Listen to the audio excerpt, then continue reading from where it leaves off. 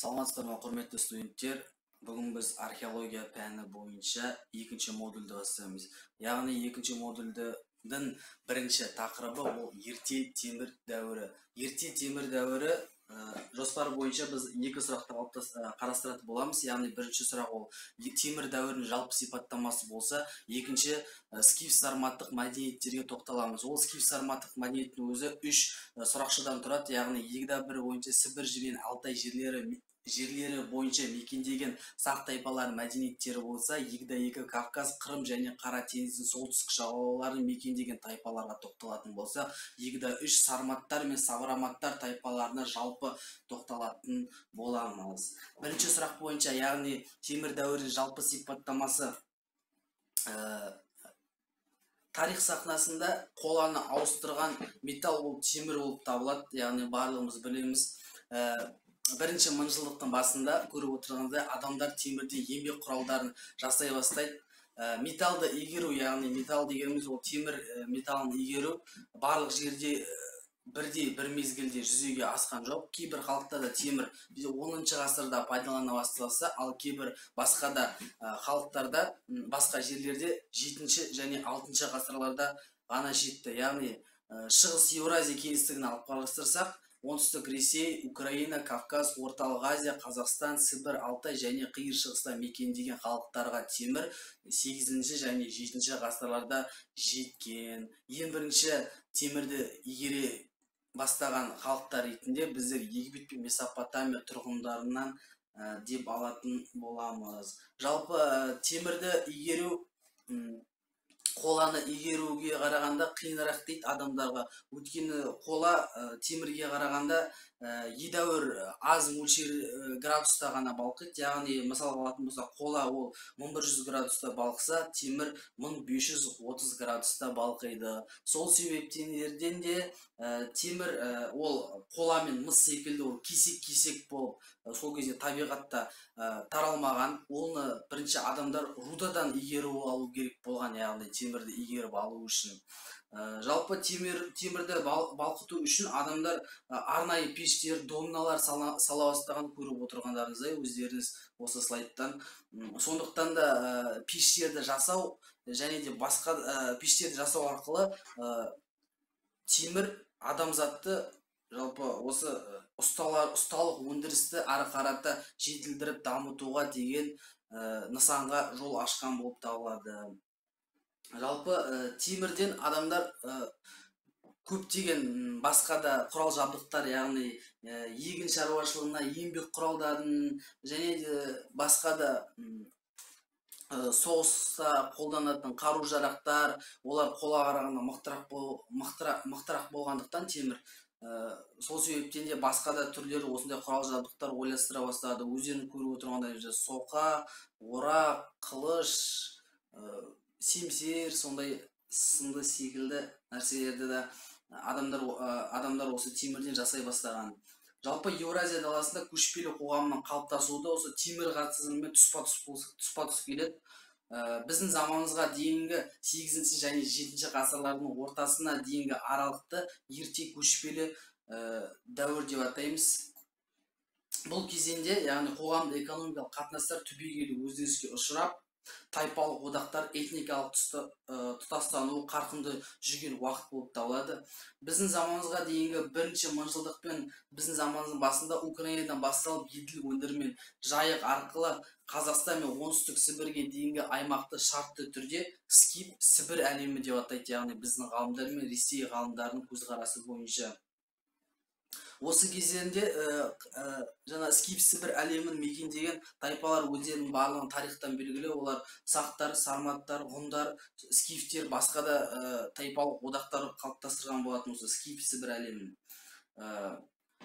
Сол мәліметтерге э, сүйене отырып жалпы осы тайпалардың мекендеуінің хронологиялық территориялық жағынан біз үш кезеңге ә, үш неге мәдениетке бөліп қарастыра аламыз. Оның алғашқысы сібір мен алтай жерлері.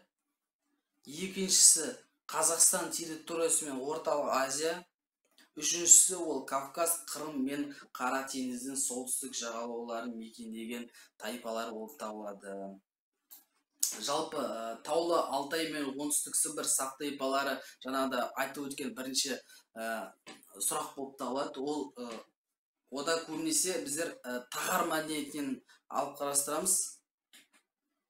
Ә, тағар мәдениеті ол өз атауын ол ә, жалпы 1722 жылы ә, сібір бір экспедициясын бастырған адрианов зерттеген болатын. Ол қазан төңкерісіне дейін жүзден астам қорғандарды қазып шыққан.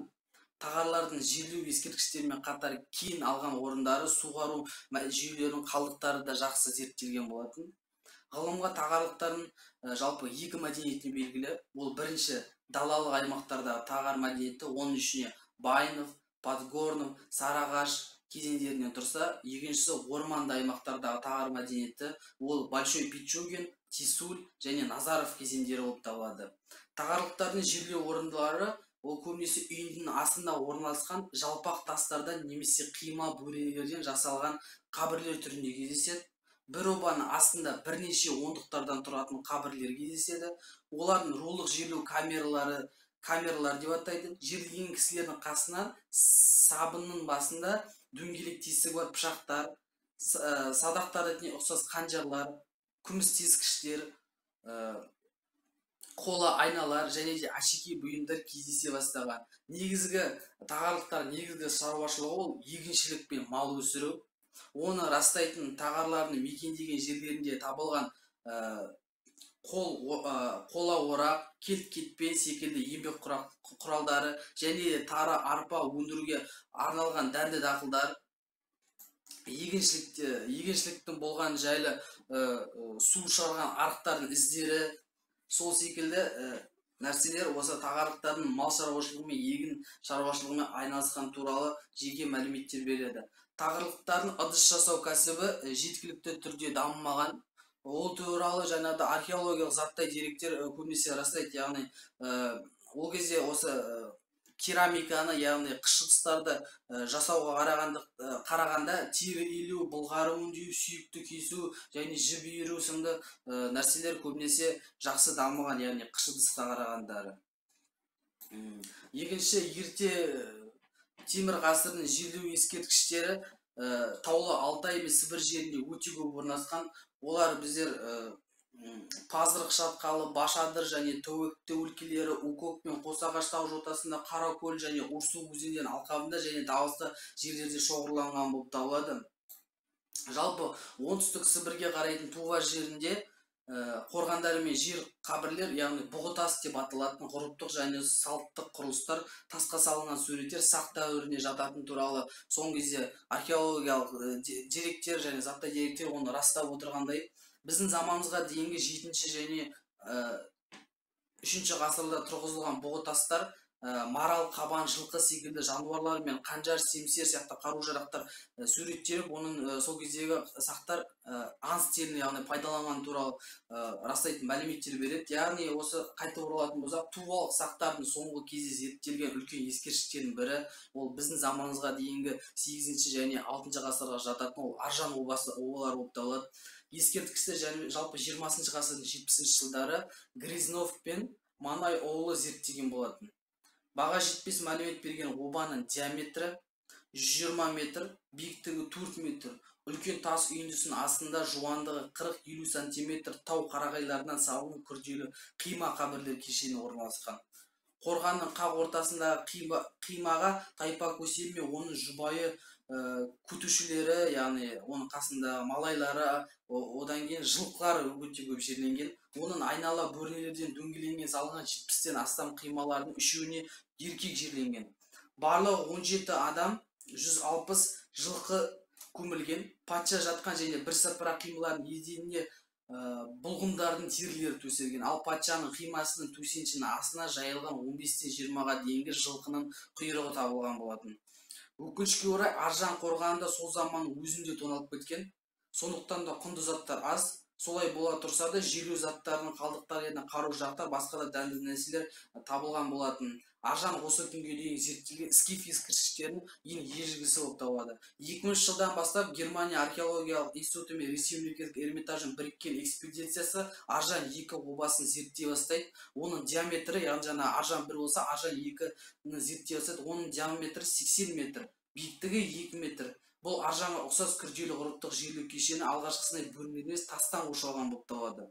Жаңа өзіңіз слайдтан көріп отырған қатты ә, слайдтан көріп отырғанымыздай екі мың бірінші жылы ә, жоғары тап өкілдеріне жататын әйел мен еркек жерленгені көрінген иә көрінеді осы слайдтан. Тоналмаған осы жерлерден басу көпшілігі скиф сібір ан нақышына жататын алтын бұйымдар құрайтын заттар үлкен тобы шыққан. Сонымен қатар оба астына 14 жылқы мен қару жарақ ата тұратын күмбе қойылған. Патша қабірінен басқа бір қора еркек пен әйел балалардың жерлеуі де ашылған. Бір қызығы еркектердің жерлеуі обаның шығыс әйелдер мен балдары батыс шетіне шоғырланған. Скиф дәуірінен мол мағлұмат беретін бұлардың басқа да көп заттар мен жерлеу құрылыстары ашылған болатын. Қазба заттарын саралап келіп зерттеушілер ажан екі обасы біздің заманымызға дейінгі жетінші ғасырмен мерзімделетініне тоқталып отыр. Ә, осы алтай тауларына сібір жақтарға көбінесе келетін ә, екінші оба ол пазырық патша обалары. Ол біздің заманымызға дейінгі алтыншы және үшінші ғасырларға мерзімделеді. Үлкен тас үйінділердің астынан терең етіп қазылған алып шұңқырға бөренелерден екі қатар етіп жасалған жерлеу қималарынан тұрады көбінесе өздеріңіз көріп отырғандай. Олардың үсті де бөренелермен жабылған жоғарғы жағынан үйілген ірі тастардың арасынан кірген жаңбыр және қар сулары ә, яғни қыс кезінде ә, су ағып қар болып ішіндегі заттардың бәріне жақсы сақталуына деген ә, сондай шанс берген болатын. Ә, жалпы таулы алтайдың обаларына алыс елдерден әкелінген бай мүліктер табылған. Осы пазырық нәрсесінде яғни солардың қатарына оқалы қалпақ киген абыз бейнелеген ахиметтік иран дәуірінің матасы қабылан терісінен жасалған бұйымдар кориандра дәні мен үнді мұхитының жағалауынан әкелген қаура қабыршақтарды. Ең қызығы осы пазырық несен обасынан табылған ең құнды нәрсе ол жерленген кісінің байда атақты болғандықтан уког өндірінен полосмак тапқан тұтасымен бальзамдалған әйел мүрдесін білдіреді яғни осы көріп отырғандарыңыздай. Атақты жас әйелдің киімін қалпына келтіру мүмкіндігі туған болатын. Қабірдің шамадан тыс көлемі ішіне қойылған асыл бұйымдар қымбат терілер мен маталар әшекей бұйымдар қатар жерленген асыл тұқымды сәйгүлік аттар мұнда жерленген кісінің ірі тайпа немесе тайпалық одақтың басқарған көсем болғандығы туралы мәлімет береді. Денесін толығымен жапқан татуировкада көбінесе ә, грифонның құланның тауешкінің бұғы мен құстардың бейнелері салынған. Қорған ә, қорғаннан табылған өнер туындылары алтай сақтарының басқа туысқан мәдениеттермен тығыз байланысты да екендігін де көрсетеді. Осы мәселеде аңдар басты орын алып отыр. Өмірде кездеспейтін аңдар мен құстардың дене мүшесінен қуысынан тұратын мифтік тіршілік иелері сақтаған аң стилінде негізгі орын алатынын көрсетеді. Жиі қайталанатын осындай қиял ғажайып бейнелердің денесі арыстан немесе жолбарыстікі қанаты мен басы құстікі болатын грифон осы жиі кездесіп отыр. Үшінші екінші егдабір бойынша қарастыратын тайпалар олар қырым және қара теңіздің солтүстік жағалауындағы скифтер яғни олар ең бірінші кемерліктер болып табылады. Яғни біздің біздің заманымызға дейінгі жетінші және бірінші ғасыр аралығында қара теңіз жағалаулары мен қырымды қамтыған далада кемерліктер деген тайпалар мекендейді. Осы халықтың атауы біздерге жалпы тарихта ассирия грек урарту және парсы деректері арқылы белгілі. Қара теңіздің солтүстік жағалауында қара теңіздің біздің заманымызға дейінгі 10 және 8 ғасырларда мекендеген қима мәдениеттің жергілікті сабатинс және белорецк этаптары скифтерге дейін тіршілік кешті. Алғашқы этап днепрдегі белозерск қойнауындағы ушалка ауылының маңында қоныс материалдары негізінде зерттелген. Бұл кезде обалармен қатар үстінде үйіндісі жоқ жерлеулер пайда болады. Жерлеу заттарын кешенін сараптау осы кезде шаруашылықтың көшпелі дәстүрінің қалыптаса бастағанын көрсетеді. Тұрмыс жағдайы да өзгеріске ұшырайды ол кезде жерлер заттарының қатарында ат әбзелдері мен қару қою дәстүрлері пайда болады. Донның төменгі ағысында кобяков мәдениеті де скифтердің алдыңғы дәуірге жататынын көрсетеді. Ол мәдениет ол мәдениет кобяков қапры софиян секілді қоныстармен зерттелген болып табылады жалпы осы кемерліктердің батыста румыния болгария жерлеріне дейін таралғандығы белгілі. Ол дерек ретінде жалпы шығыс еуропаның орман дала аймағында скифтерге дейін чернолеск мәдениетін қалыптастырған көрінеді оның соңғы кезеңі жаботинск скиф дәуіріне жалғасады. Осы мәдениетке тән ерекшелік мәйітті өртеп күлін арнайы урнамен шұңқырға жерлеу дәстүрі дамығанын көрсетеді. Жалпы скифтердің археология ескерткішке деген қызығушылық ертеден арта бастал ертеден қызығушылық арта бастағанын көреміз. Жалпы осы скифтерді кеңес үкіметі кезінде зерттеу ол қазан төңкерісіне дейінгі уақытты уақыттан басталады. Яғни оның ең бір қызық нені алатын болсақ мәдениетті яғни памятникті алатын болсақ ол кулеба кулеба қорғаны. Жалпы кулеба қорғаны қазіргі керчь қаласының маңында орналасқан. Мұнда төбесі баспалдақтанып жабылған тас сағананың ішіне скифтің ақ сүйек әйелі және күтушілерімен бірге жерленген. Көсеммен бірге сыртында жануарлар бейнеленген алтын қынды темір семсер мен алтын диадеммен қапталған қорамса жебенің құтысы қойылған. Мәйіттің басындағы киізден жасалған қалпақтың яғни сырты алтын қаныртырларымен өрнектелген. Өздерің көріп отырғандарыңыздай өрнектердің бірінде бір тыстан су ішіп жатқан екі скиф яғни бұрында геродот өзінің тарих тарих еңбегінде жазып кеткендей осы достасу ғұрпы ретінде белгіленіп осы қыш ыдыста көріп отырғандарыңыздай осы күлуба мәдениетін яғни қорғанында табылған алтыннан жасалған бұйымдар яғни қыш ыдыс сол кездегі жебе яғни жебе салатын қорапша өздерің көріп отырғандай осы геродот жазып кеткен осы мәдениеттер туралы бейнелер яғни мынау аң стилі. Үшінші кезең ол үшінші мәселе қарастыратын тайпалар олар савраматтар мен сарматтар болып табылады. Жалпы савраматтар олар еділ орал аймағын мекендеген біздің дәуірімізге дейінгі жетінші және алтыншы ғасырларға ғасырлармен мерзімделеді жалпы скифтердің шығыс көршілері болып табылады. Геродот ең бір ерекшелігі геродот оларды әйел басқарған ел деген пікірін археолог материалдарда растайды. Өйткені олардың әйелдерінің қабірлерінен қару жарақ ат әбзелдері мен абыздық рәміздер жиі кездеседі.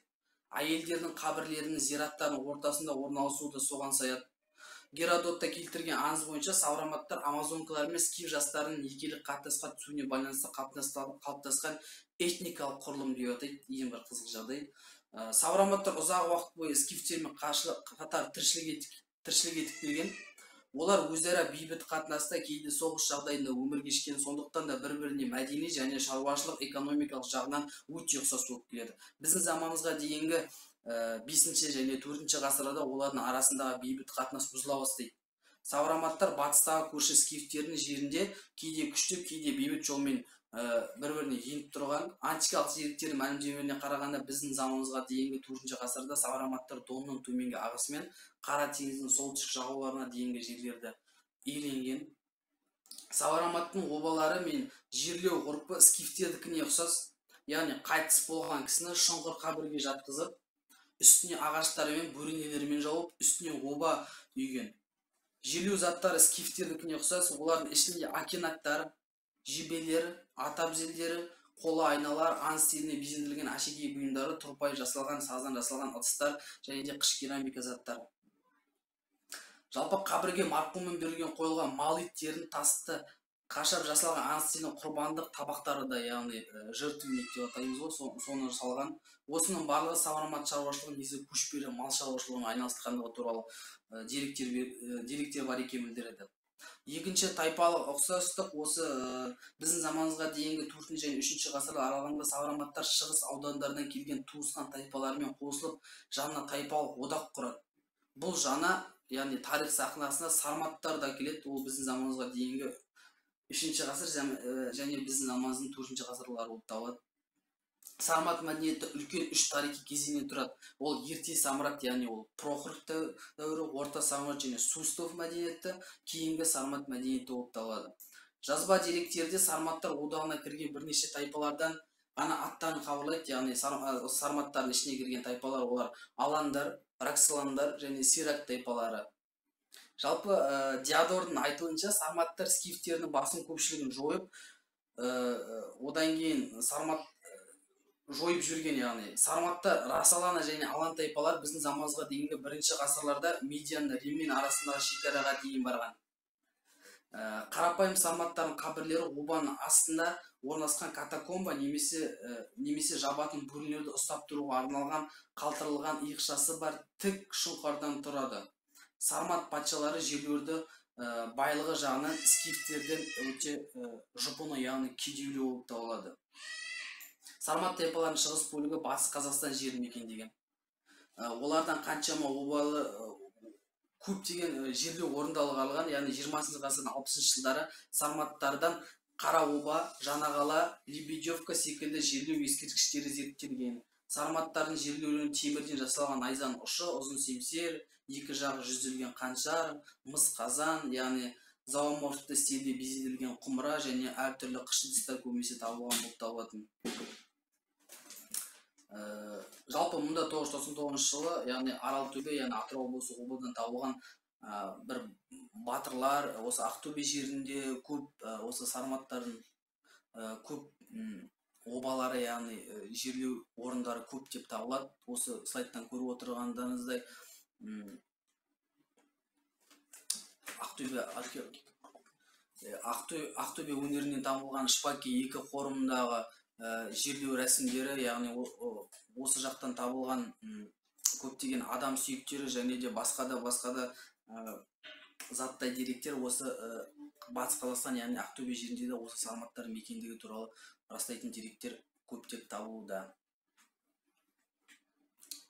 Назарларыңызға рахмет. Барлық студенттерге осы екінші модульдің бірінші және екінші сұрағы бойынша лекциямыз осы.